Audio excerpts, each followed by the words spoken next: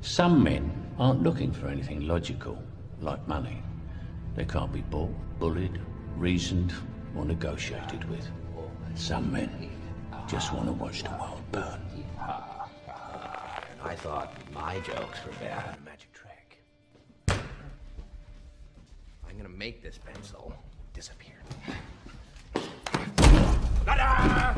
It's it's gone. How much you want?